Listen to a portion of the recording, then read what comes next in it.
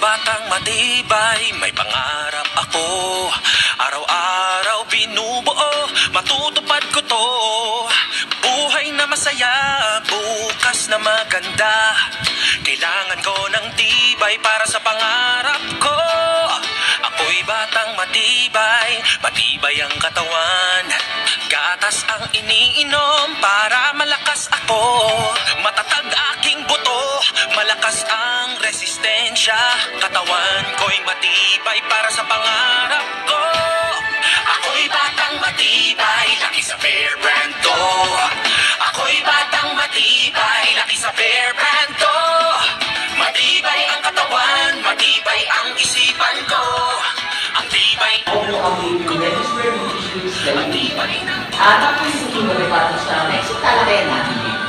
Yeah. So, andito po tayo ngayon 5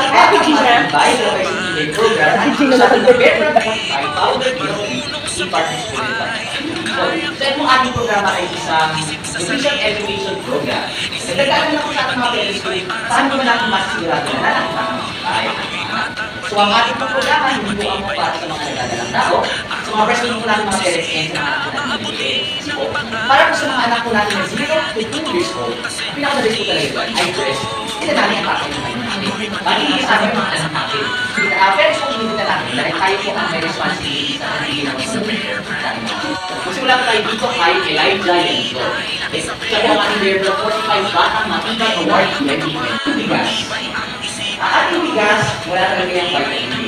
Pero tayo na lang yung naglalagay ng vitamin D para yung kaya itawag natin sa ibang bigas. 45 with vitamin D. Sa halimbawa, gatas. Ang gatas po walang vitamin C.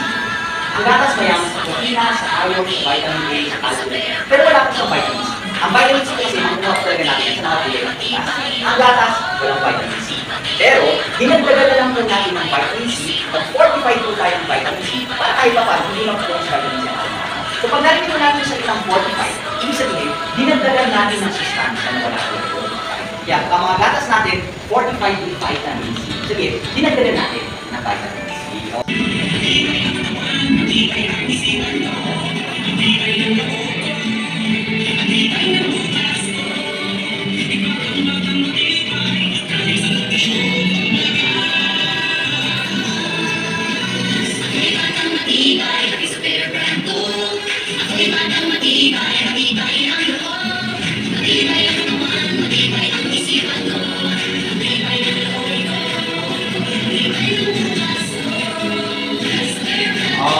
Ako'y batang matibay, matibay ang isipan.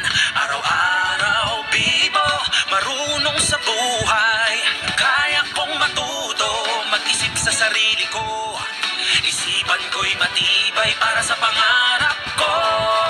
Ako'y batang matibay,